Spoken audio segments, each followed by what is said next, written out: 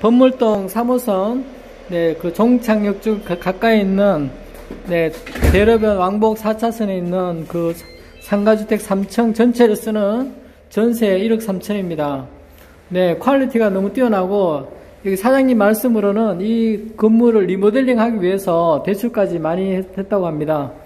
그래서 이렇게 어, 수준 높은 공간을 보실 수가 있고 어, 바깥 사치는 되어 있지 않지만 안쪽에서 이렇게 어, 사장님께서 많이 신경을 써서 고치는 상태입니다.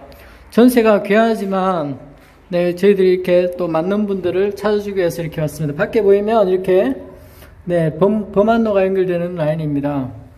어, 이쪽에서 다시 어, 거실 쪽으로 본다면 거실이 어마어마하게 큰 네, 거의 탁구장 두 개 정도의 크기가 되는 스페이스를 가지고 있습니다.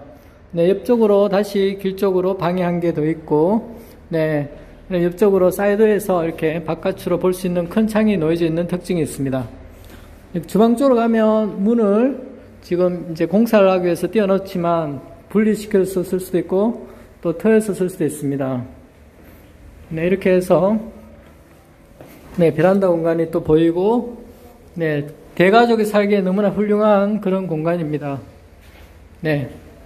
잘 보셨습니까? 캠퍼스 부동산입니다. 빈방점 co.kr에서 더 많은 정보를 보실 수가 있습니다.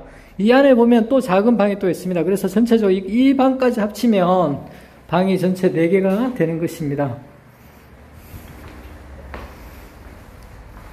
네, 잘 보셨습니까?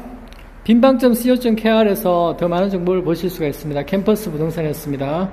지산, 지산동 법물 쪽, 법물동 쪽에 1억 3천 전세였습니다. 감사합니다.